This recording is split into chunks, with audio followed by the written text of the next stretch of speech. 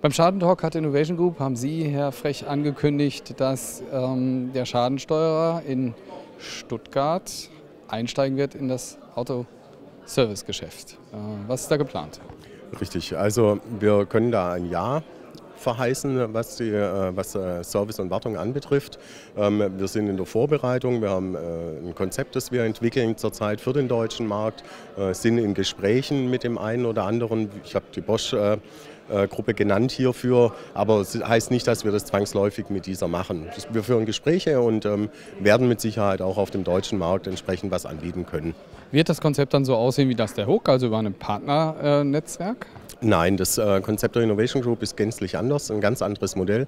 Keine Flatrate-Tarife, ähm, sondern über einen monatlichen Beitrag, den der Versicherungsnehmer dann bezahlen kann und zuwählen kann, ähm, für zwei Jahre Service und Wartung inklusive.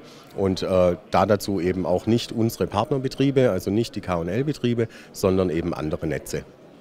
Okay, das heißt, da gibt es im nächsten Jahr sicherlich nochmal wieder Bewegung im Markt. Ähm, das äh, nächste Thema, was wir hier diskutiert haben beim Schadentalk, ist die Schadensteuerung, die Schadenverteilung. Es gibt immer mal wieder Marktdiskussionen darüber, dass Schäden nach A, B und C Betrieben verteilt werden, äh, taxiert über den Car Report. Ähm, wie wird sich das Volumen entwickeln und wie verteilen Sie das?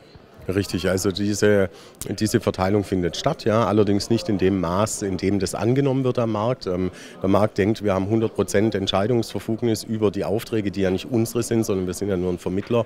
Ähm, dem ist nicht so. Es gibt diesen Benchmark, es gibt eine Clusterung, allerdings nur für 25, grob 25 Prozent der Fälle, wo diese dann zum Tragen kommt. Ähm, wie ich schon gesagt habe, es sind äh, alles Top-Betriebe, die einen sehr guten Job machen und äh, in unserem Car-Report geht es um Nuancen, um Feinheiten, äh, wo Betriebe zeigen können, okay, sie setzen sich damit auseinander, sie gucken nach ihren Prozessen, sie gucken, dass der erste Kostenvoranschlag passt und nicht der vierte, um Kosten zu minimieren. Und das sind dann natürlich äh, Gründe, wieso dann ein Betrieb, der eben als A klassifiziert ist, auch dann den Auftrag mehr erhält wie der B- oder C-Betrieb. Richtig.